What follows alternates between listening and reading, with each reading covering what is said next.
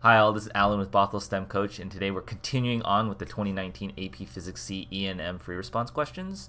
As usual, um, this is set two, so if you're looking for set one, go to the other videos.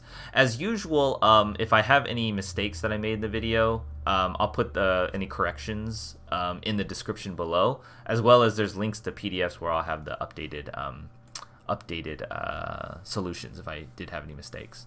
So a non-conducting hollow sphere of inner radius 0.3 meters and outer radius 0.5 meters carries a positive charge density rho as shown in the figure above. The charge density rho of a sphere is given as a function of distance r from the center of the sphere and meters given by the following. This equation, this equation, this equation. Okay, so no charge here, no charge out here, only a charge density inversely proportional, proportional to r there calculate the total charge in the sphere.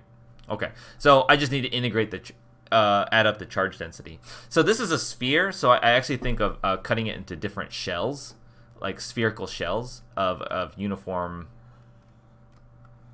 uniform uh, at a fixed distance away because I'll know that like the charge density is like constant here. Okay. So uh, the amount of charge in my little shell is given by the um, volume of the shell. So what is the volume of the shell? It would be just the surface area of the shell, 4 pi r squared, times the thickness of the shell. So this is the um, sort of the volume of the shell, and then this is the charge density, positive volume charge density. So this is density per volume. So I just multiply by rho. So this is my volume of my shell, and then this is the charge density per shell, and that gives me how much charge that I have. Okay. Now, um, in principle, uh, the only time I need to add up this charge density, where I have charge, is um, when I actually have a charge density. It's b over r. So this is equal to 4 pi r squared. Rho is b over r times dr. That cancels there. So my dq is equal to 4 pi r b dr. And now I want to integrate this. To get the total charge, I want to integrate dq. And I'm going to integrate 4 pi r b dr, and I'm going to integrate from 0.03 to 0.05. So that would be 4 pi b, that's a constant, this would be 1 half r squared, evaluated from r equals 0.03 to 0.05. And um, they tell us what b was? Oh, yeah, they give us a number here. So it's, it's using 4 pi times 1.6 times 10 to the minus 6 times 1 half times uh, 0.05 squared minus 0.03 squared. Oh, sorry, I'm cutting off the screen here. Um, times 1 half times 0.05 squared minus 0.03 squared. Okay? So 4 pi times 1.6 e minus 6 times 0.5 times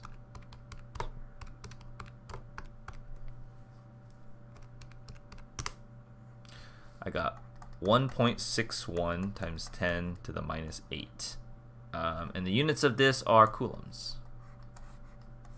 Coulombs per meter squared coulombs. And I believe that is, that looks, sounds familiar. So that's what I got the solutions. Okay, so using Gauss's law, calculate the magnitude of the electric field E on the outer surface of the sphere. So I'm going to create a Gaussian surface on the outer surface of the sphere here. It's a shell. You got to think of it as three-dimensional. It's like because this is a sphere. So I think of it as a shell and um, Gauss's uh, basically law is the integral, the surface integral, E dot dA is equal to the amount of charge enclosed over epsilon naught. Okay. The electric field is uniform because it's a sphere by symmetry. If I rotate it, like all the E fields should be the same because it's symmetrical. So it's just E. So this is just E times the area, which is 4 pi um, times r squared, r being the outer radius, 0.05 squared. So this is E times the area, and I found the charge already, Q over epsilon naught. So E is just equal to Q over epsilon naught um, divided by 4 pi times 0.05 squared.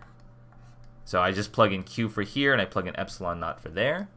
Um, so 1.61 E minus 8 divided by um, 4 divided by pi divided by 0.05 squared divided by, oh, what's epsilon naught? I, if I didn't know, I have to scroll all the way up.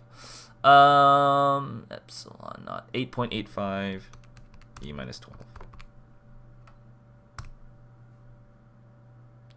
And I got um, 5.79 times 10 to the 12. Sorry, so...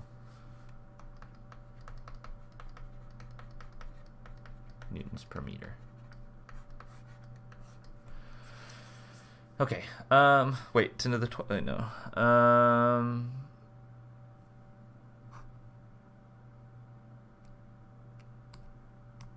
That's not ten to the twelve. I think I um. I forgot to the one e minus eight. I forgot to do e minus eight. So I got um. Five point seven nine times ten to the fourth. Sorry. Sorry about that. I plugged as a calculator mistake on that. I was like, um, yeah. Um, on the axis below, sketch the magnitude of the electric field as a function of distance r from the center. So if I look at different Gaussian shells inside the, the, the, the this part, I'm not enclosing any charge, so the E field is zero out here. And then the E field is going to increase. So you kind of have to think about like how the E field is going to increase, like what's the shape of it. So if I take an arbitrary like uh, Gaussian uh, Gaussian surface um, in the middle of here, I would have the same thing, E times 4 pi um, r squared is equal to the enclosed charge. The enclosed charge would be um, kind of like I did this integral, but instead of 0.03 to 0.05, I would have um, um, 4 pi times b times 1 half r squared. So it would be the where r squared minus 0.03 squared, and all of that divided by um, uh, oh no, that was it. Uh, that's the enclosed chart divided by epsilon naught. Okay, so it's kind of like an r squared. Like so, if I divide by the r squared here, it's gonna be like um, it's gonna increase. Wait, um, so this is the enclosed charge. This is epsilon naught. I would divide by 4 pi r squared, so the 4 pi's cancel. So I'd have um, 1 half b r squared. If I divided by r squared, um, it would be a constant minus...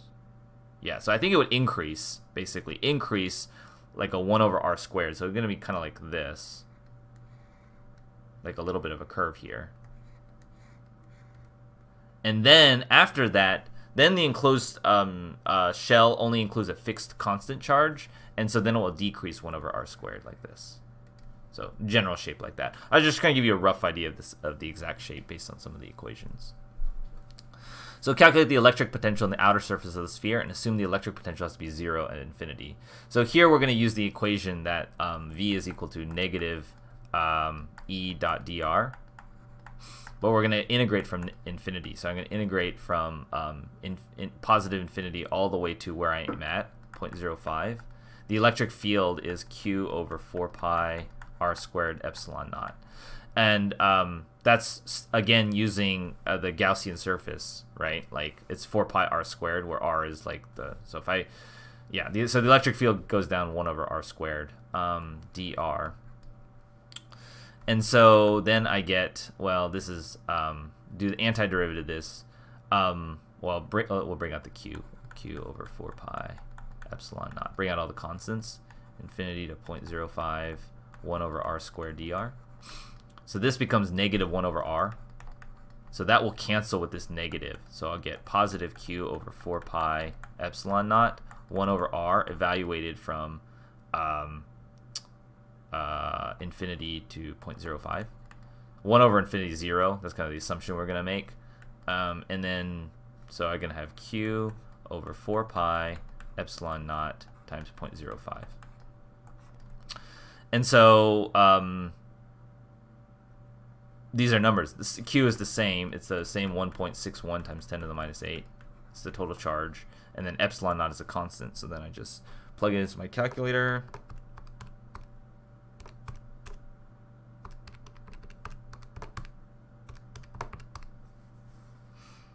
I got the voltage to equal to 2900 volts, which is rounded two significant figures. Okay. And a proton is released from rest on the outer surface of the sphere time t equals 0 seconds. Calculate the magnitude of the initial acceleration of the proton. Calculate the speed of the proton after a long time. So I think in general I was making sure this is a positive charge density. Yeah, positive volume charge density, just to double check that. And so um, it's the proton's going to go away. So the way you want to do the, the initial acceleration, I need to know the force of the proton. Force equals ma. The force is due to the um, electric field. So that's q times the electric field is equal to mass times acceleration. So the acceleration is equal to um, q times the electric field over m. And actually solve for these because the charge of a proton is 1.6 times 10 to the minus 19 coulombs. The electric field, what did we get the electric field to be, was 5.79 times 10 to the 4. And then the mass of a proton, uh, it's in a constant. It's 1.67 times 10 to the minus 27. I want to double check that. Um, just to confirm that I get the mass of a proton and not mass of an electron. Mass of a proton, 1.67 times 10 to the negative 27. All right, good. I did that right. So the acceleration would be, so 1.6 e minus 19 times 5.79 e4 divided by 1.67 e minus 27 equals 5.55 times 10 to the 12 meters per second squared. Calculate the speed of the proton after a long time. Um,